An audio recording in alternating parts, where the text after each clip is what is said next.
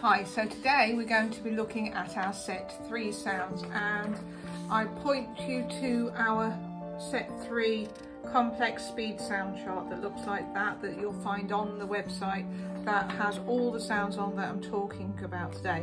And how it works is the top sound gives the child the indication of what the sound is and then the ones underneath say the same sound.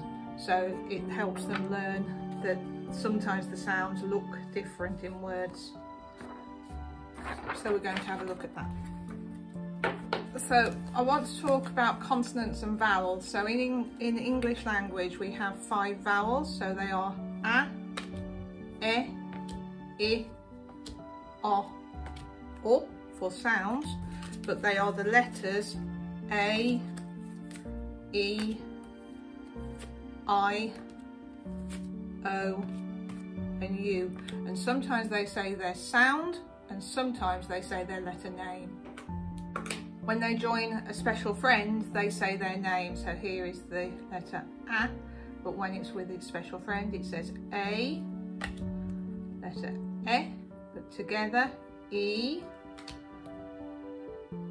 I, but together, I, O, but O,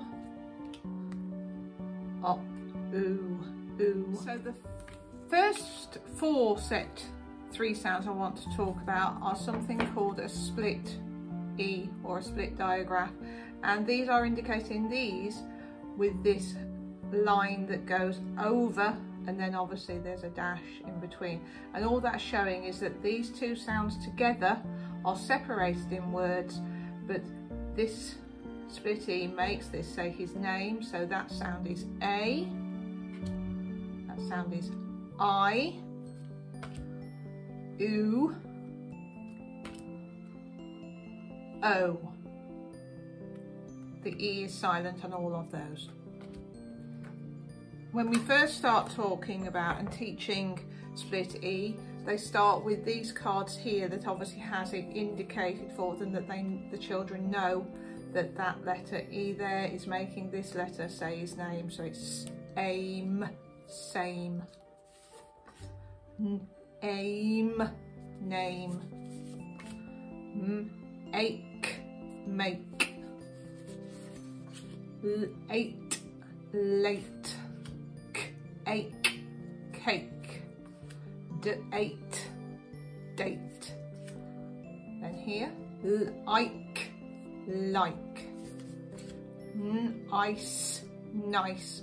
And it's saying the soft C in this word. Smile, smile. T I'm, time. I'd, hide.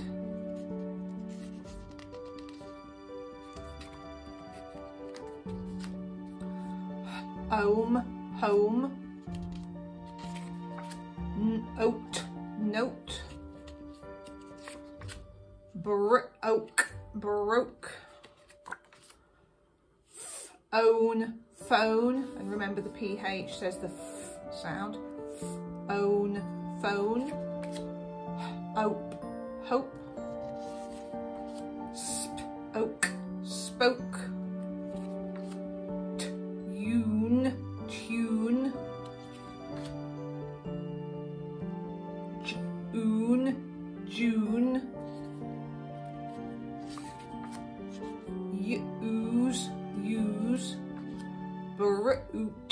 brute, brute, rude, rude, huge, huge.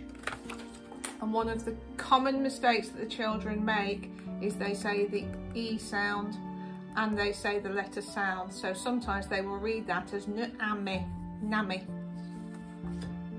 immy, timmy, id, hiddy, hiddy, ommy, hommy. And all you need to do there is point out, and I usually do that to them.